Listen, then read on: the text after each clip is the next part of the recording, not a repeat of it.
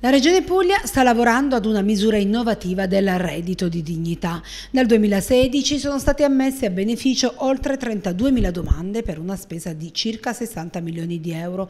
La nuova misura, che cambia in base alle esigenze dei cittadini, nasce dalla collaborazione tra l'assessorato al welfare e quello al lavoro per un nuovo RED assolutamente innovativo che si andrà ad integrare con le ultime misure nazionali. I tavoli tecnici con tutti gli attori interessati, dice l'assessore regionale al welfare, welfare della Regione Puglia Rosa Barone sono in una fase avanzata e nei prossimi mesi si potrebbe già presentare la nuova misura. Questo sarà per noi, dice Barone, un motivo di orgoglio perché vogliamo andare incontro a chi ha perso il reddito di cittadinanza ed è fuori dall'assegno di inclusione, persone fragili a cui dobbiamo dare delle risposte.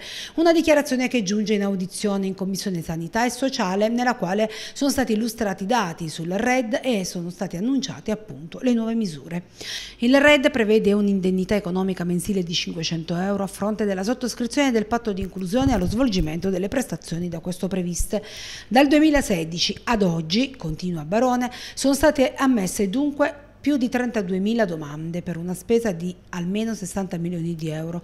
Sono stati sottoscritti 24.600 patti di inclusione, a cui se ne devono aggiungere altri della finestra in corso. Per quello che riguarda le manifestazioni di interesse da parte delle imprese, enti pubblici e aziende del terzo settore, per attivare i percorsi di inclusione per i beneficiari sono stati presentate oltre 1.900 manifestazioni per un totale di oltre 4.000 progetti presentati e più di 12.000 posti richiesti.